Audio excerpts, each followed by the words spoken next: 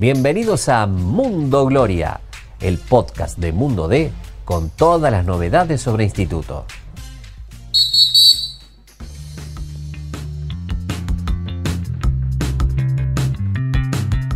¿Qué tal? ¿Cómo les va? Bienvenidos a un nuevo podcast de Mundo Gloria en un lugar especial, como la Agustina de Hernán y con un invitado más que especial. Sí, señor Agus, eh, una- un episodio más que especial de Mundo Gloria. Bueno, agradecido al club, a la gente de prensa y obviamente a Diego Davoe que se, se presta para este ratito de diálogo. Así que bueno, muchas gracias Diego por recibirnos acá en tu casa con la pelota en las manos. Soy el dueño, soy el dueño acá. Bueno, gracias, un placer, un placer que estén acá, recibirlo. Eh, acá estamos hoy adentro del gimnasio por, por cuestiones climáticas, estamos mucho más cómodos acá. eh, en este gimnasio nuevo que nos ha armado la gente del club eh, a partir de que llegamos, así que bien contentos ya esperando la última eh, etapa, el último esfuerzo de, de- de la temporada. Bueno, eh, Diego Hernán es de los que sabe más con la pelota en las manos que con los pies, ¿no? Sí, Porque sí, por bueno. ahí muchos no conocen la historia de él, vamos a hablar un poco de la historia de él, después nos vamos a meter a fondo en, en la actualidad del instituto. ¿Cómo nace tu amor por el fútbol? En el arco, no bajo los tres palos. Sí, sí, nace eh, primero en el Babi, ¿Vos de dónde sos, Diego? de Banfield, nacido en Banfield, a, a Viamonte y Serrano, a 7, 8 cuadras de la cancha de Banfield, eh, pero eh, me crié futbolísticamente en Lanús, eh, porque desde muy chiquitito, eh, desde los 9 años ya empecé a jugar al fútbol infantil de Lanús hasta, hasta los 21. Eh, y después ya transité mi carrera por el ascenso hasta que me lesiono el hombro y rápidamente empiezo a, a- trabajar. Tuve la suerte de no vivir el, el post-retiro, que es el más duro para el jugador. Te retirás joven vos. 27 años, en el año 2000, 27 años. Me saqué el hombro este, seguí jugando un tiempito más en Riestra, en, en- en primera vez metropolitana. Me- se me salía, me molestaba mucho y un día dije no juego más.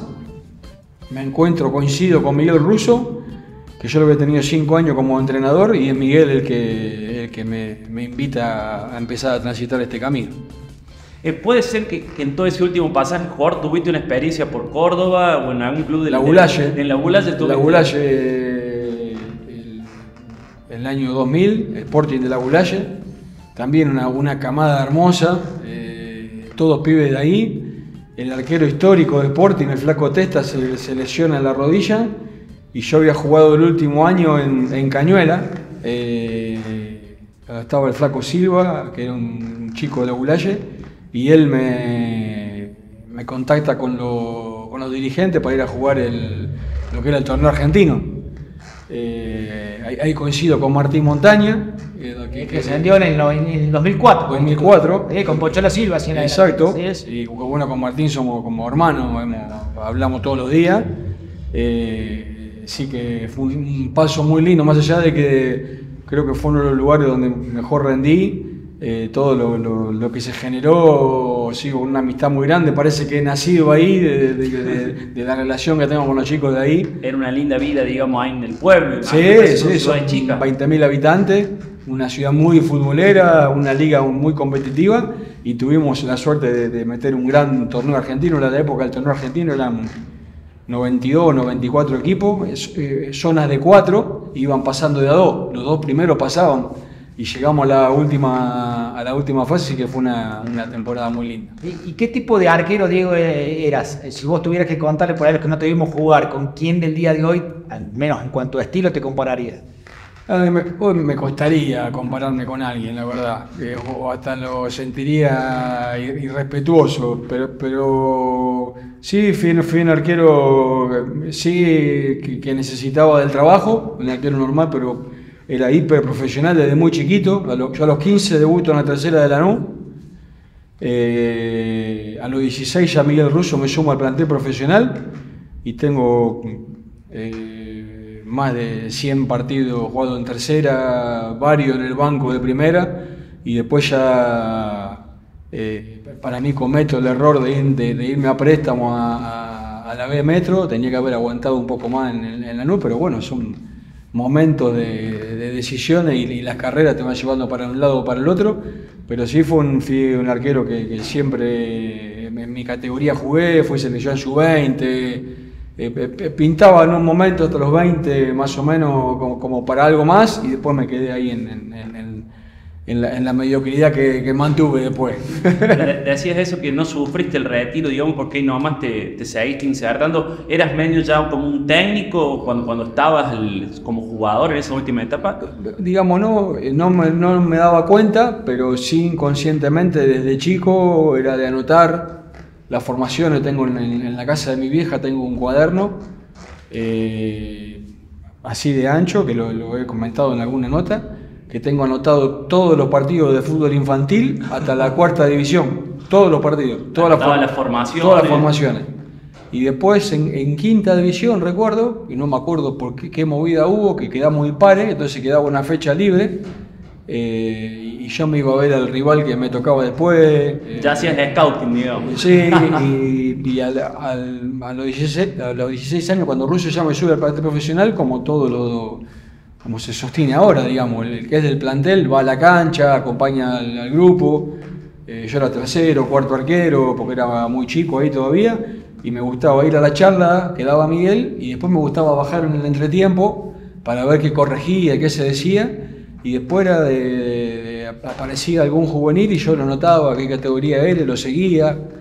En ese momento estaba, la, estaba el gráfico, el histórico gráfico, eh, muy vinculado primera división más que nada, pero estaba la solo fútbol en esa época, que, que, eh, tenía la primera, Nacional B, B Metro, Mucho eh, ascenso de Buenos Aires. del interior, mucho ascenso y la- la- las tengo todavía guardadas. Los gráficos, la solo fútbol, los tengo guardados y son sagrados, pero yo me, lo- me los estudiaba por completo, así que de- a los 20, 21 ya empecé a trabajar con, con un profe que tenía, eh, con Sergio Di Mónaco, que era un profe que hoy, hoy está en Italia.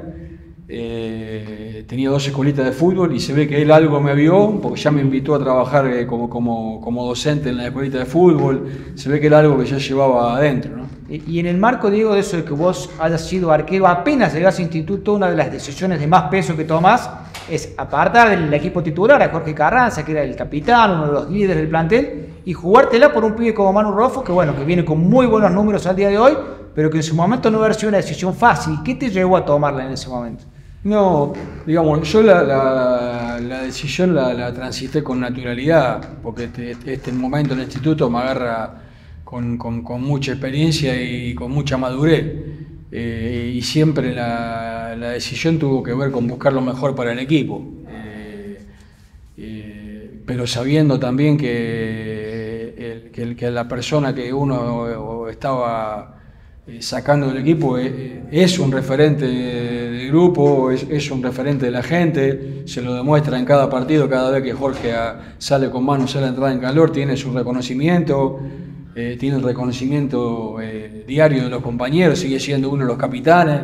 eh, y obviamente no es una situación que a mí me, ponga feliz, pero uno siempre lo hace pensando en, en el equipo y la verdad que me he encontrado no solamente con Manu y con Jorge, sino también con el Flaco Bilbao y, y con el Memacito, era un, un muy buen grupo de, de trabajo. Y, y después eh, el acompañamiento que tiene que ver y es clave del gran momento de Manu ¿no? en, el, en el torneo.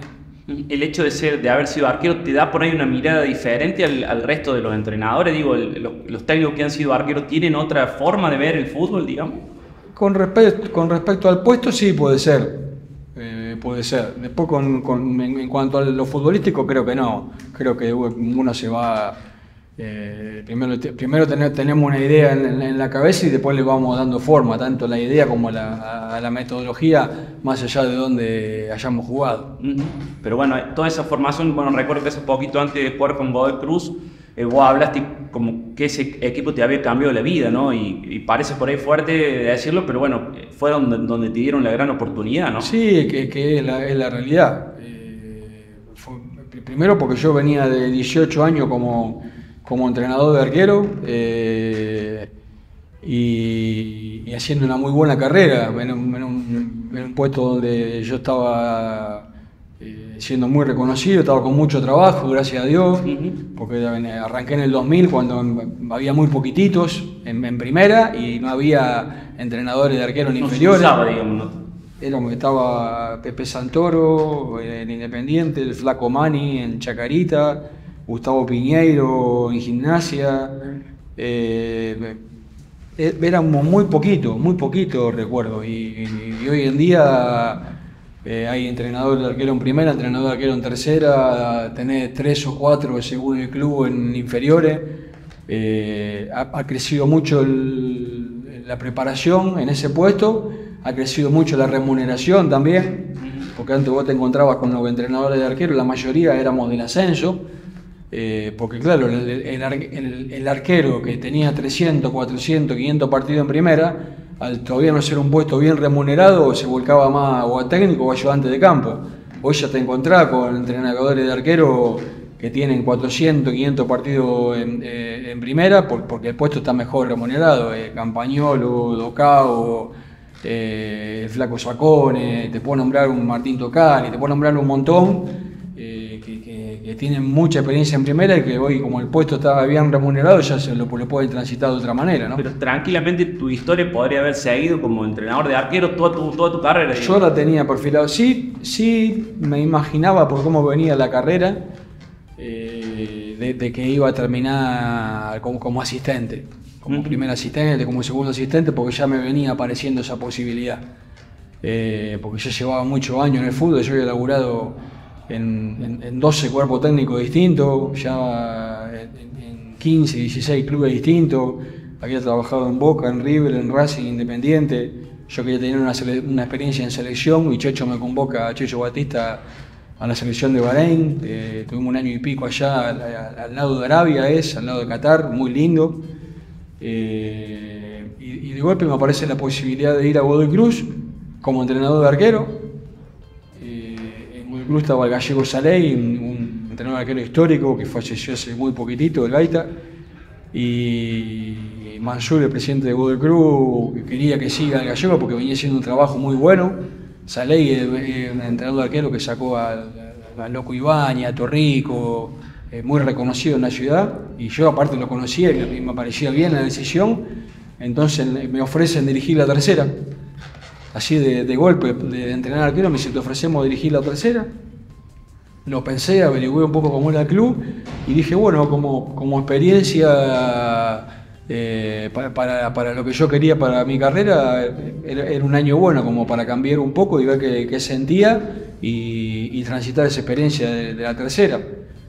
Nos fue recontra bien, nos fue recontra bien, eh, con dos semestres distintos, ¿no? El primer semestre con una camada un poco más grande, el equipo último y terminamos arriba, y el segundo semestre ya con el recambio de los 2000, de, de Burgoa, Guyau, de Badaloni, eh, y termina el, el año, el primer semestre dirigió la primera eh, Bernardi, el segundo Larriera, el uruguayo, que hoy está en Sporting Cristal, en Alianza Lima, perdón, y cuando termina la última fecha, eh, yo tenía la posibilidad de empezar a trabajar como ayudante de campo del Chino Saja, que arrancaba como técnico. Le aviso al gato al que, que nos vamos. Y el gato me dice, no, quédate, quédate un año más. Y le digo, gato, no, quiero volver a laburar en primera. Esa adrenalina uno la necesita también. Y esto fue un, viernes, al mediodía, la reunión con el gato, y a las 7 de la tarde me llamo Mansur eh, para tener una reunión con él, y al otro día era técnico de Godoy Club de la primera.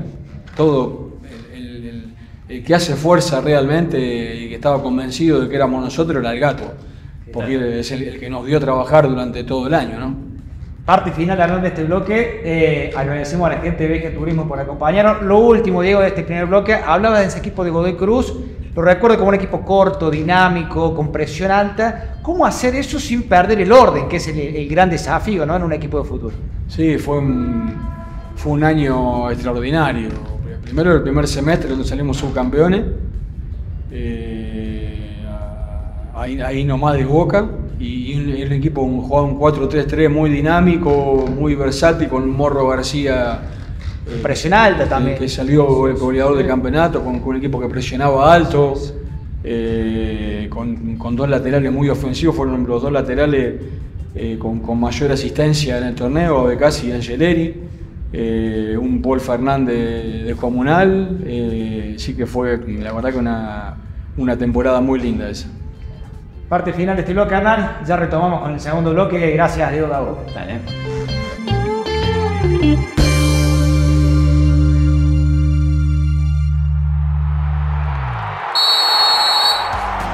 Gracias por escuchar este episodio. Te invitamos a visitar mundode.com.ar para estar al día con todas las noticias sobre la gloria. Nos encontramos de nuevo la semana que viene.